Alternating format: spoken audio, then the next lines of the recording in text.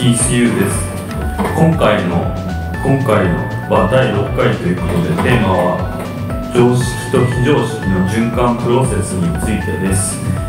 えー前回の動画では非常識均衡についてお話ししましたがその際に常識と非常識がどのように循環するのかそしてなぜ非常識均衡になるのかというそのプロセスについての次の動画で解説するとお話ししましたのでその点について今回の動画でご説明したいと思います。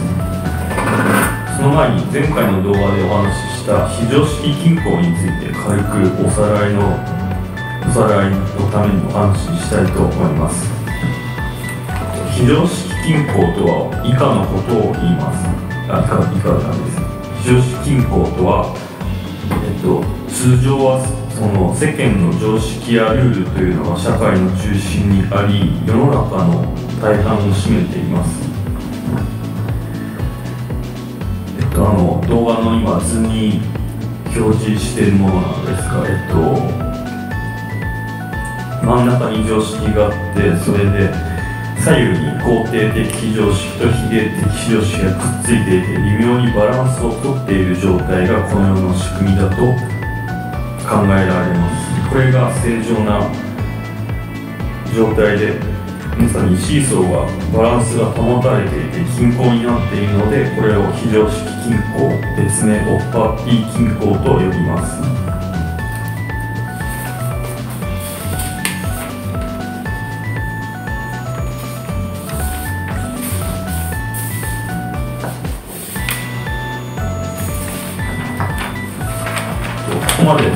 っと、前回の動画で説明させていただいたのですがそではそもそもなぜこのような均衡点に落ち着くのかというプロセスについては説明を前回は省いていましたのでそれについて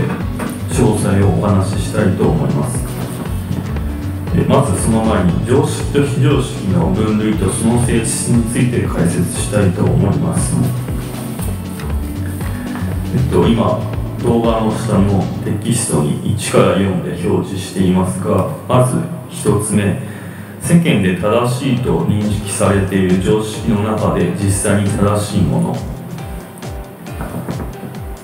これは、まあ、まあ今までこの1から4は今まで説明した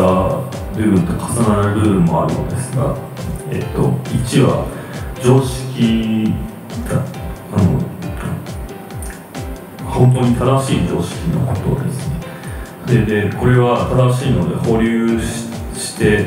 据え置くかあるいは新たな時代とともに新しい常識にアップデートされるということになります。2つ目はその世間に正しいと認識されている常識ではあるが実態は非常識のえっとこれがつまり競技のオッパッピーになります。実態は非常識だが世間ではいまだに根強く常識だと思われているものです。3つ目は世間に正しいと認識されていない非常識でこれは今まで述べた否定的非常識のことです。これは多数派が明らかに非常識だとあのすでに認識しているものですね。そして注意すべきはこの否定的非常識には実態は肯定的非常識あるいは常識のものも含まれているというのも以前お話しした通りです。そして最後4つ目は世間に正しいと認識されている非常識でこれは肯定的非常識です。これは画期的なアイディアとかイノベーションとかですでに世間に認められているものです。で1から4についてさらに詳細に説明させていただきますと1は時代とともに常識は新しい常識にとって変われるのでとって変われることになります。と今日の常識は明日の非常識などとよく表現されることもありますがまさにその通りで常識は一瞬月歩生まれ変わっていると言えます。そして2の時代それが時代遅れになると今度は2の競技のオッパッピーへと降格することになります。時代遅れなので常識実態はもう非常識になっているということです。ねしかし世間的にはいまだに根強く常識と思われている状態です。なぜ一気に否定的非常識にならないのかというのはそれはそのいきなり世間的に非常識とされるより実態は非常識なのにもかかわらず世間ではいまだに多数派により根強く常識だと思われている風潮がいまだに強い状態にとどまることがあるためです。そして改めて多数派がこれは明らかに非常識だと認識するようになると世間的にもはや必要ないとみなされ3の否定的常識に分類されることとなります。そして先ほどもお話ししましたようにその否定的あえーと、否定的非常識の中にはその画期的なアイディアなのでいまだに認められてないものがありましてこれは本来肯定的非常識分類されるべきものなのでそうですね。だから4の中には肯定的非常識なのに否定的非常識になってしまっているものもたくさんあるということですね。えー、っと。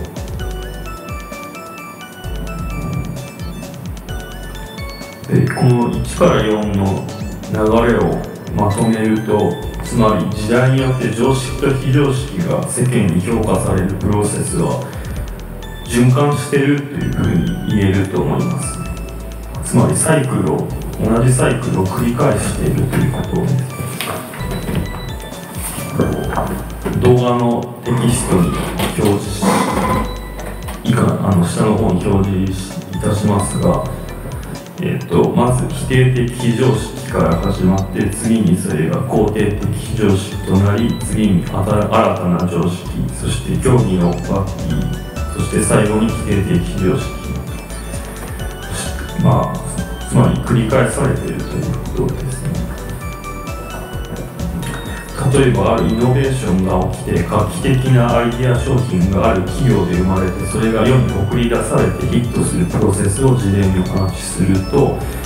まず時代の先を行く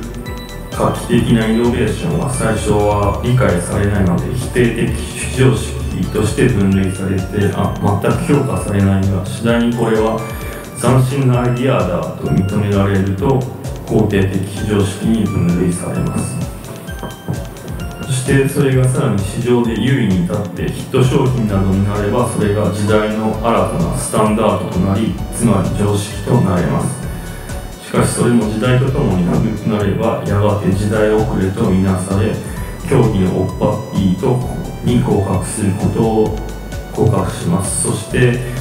それがやがてもはや不必要なものだとみなされると定的非常識にまた戻されることになります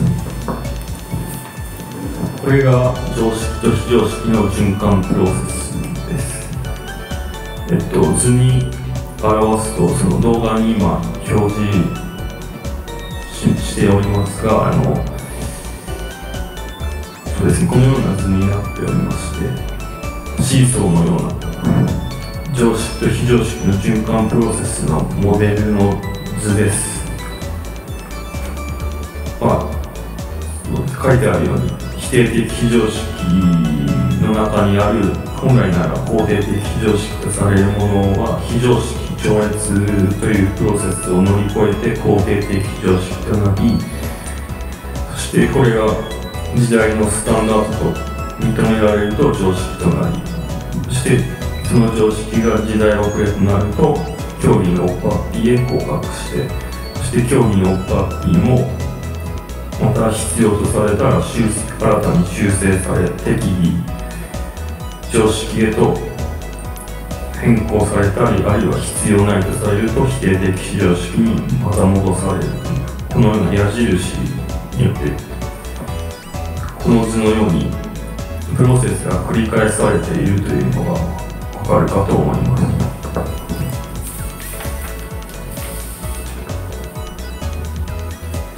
つまりこれがこの均衡がこのプリスプロセスが繰り返されてうまく循環していると非常識均衡の状態になると考えられると言えますこれがつまり非常識均衡になるメカニズムでですね前回お話を省いた点がこのような図で説明できるかと思います。ここで問題なのは一つ問題点がありまして私の考えるこれは仮説でありあくまでそのこのようなプロセスを繰り返せば均衡になるだろうという推測にしか過ぎないですね。そして均衡になったとしても果たしてこの世の中が本当に幸せになるのか平和になるのか不幸な人たちや虐げられている人たちがいなくなるのかというのも果たしてその疑問なわけであるいましてしてそうならない可能性もあるということですね。でそれに主な主に2つの原因があると考えられまして1つ目はこの常識と非常識の循環プロセスのモデル自体がそもそも欠陥があるということ。これは先ほどの図のプロセスがそもそもなんか不備や欠陥があるということでそうするといくらそのプロセスを繰り返してもその欠陥があるから平和には近づかん近づくことは不可能であるということになりますね。で2つ目はプロセスそのものには全く問題はないが社会そのものが矛盾しているためいくら頑張ってもプロセスを遂行しきれないとこれはどういうことかというとこの先ほどの図のモデルやプロセス自体には不備はないんですがその社会そのものがうまく矛盾しているためうまくプロセスが回ってないということです例えばすでに時代遅れになっているその慣習やルールや考え方とかそういったものがいまだに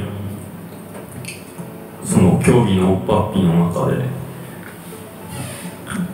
そのとどまっているというかそれが放置されている状態ということが考えられます、ね、その多数の人が全く気づいてないかあるいは気づいていたとしてもそのそのまま放置されている状態とかそういうのが続くとプロセスがうまく回らなくなるっていうことです。そしてさらに問題がありましてこの1と2どちらが正しいのか答えが分かりようがないということです。その先ほどの1が真であるならばこの循環プロセスそのものを見直して新しい仕組みをもはや考え直さなければいけないということになりますし先ほどの2が真実ならばもっと一人一人が行動すれば世の中の平和は世の中は平和に近づいていくということになります。しかしその実際の社会がもっと複雑な要因が絡んでいてもうあらゆる要素が複雑に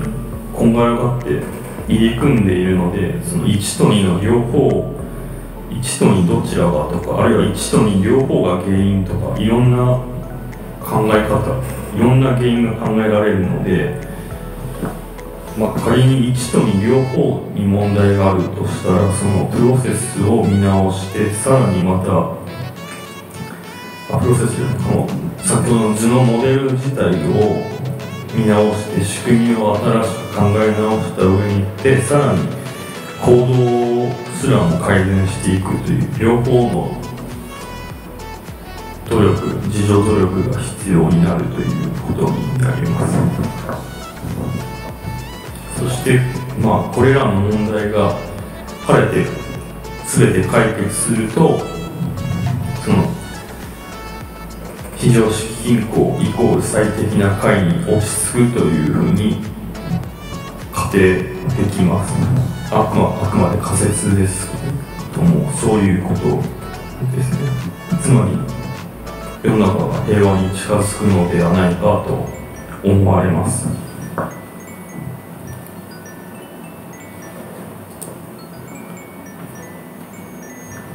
え以上今回のテーマはやや複雑でしたが常識と非常識の循環プロセスについてお話しさせていただきました。常識均衡になるメカニズムとも関係していますので前回の動画とも動画も合わせて見ていただけると分かりづらい点もをあの理解できるようになるかと思いますのでぜひご興味あればご視聴ください。え今回も長丁場となりましたが最後までご視聴ありがとうございました。もし面白いと思っていただけましたらチャンネル登録およびチャあの引き続き動画のご視聴をよろしくお願いいたします。それではありがとうございました。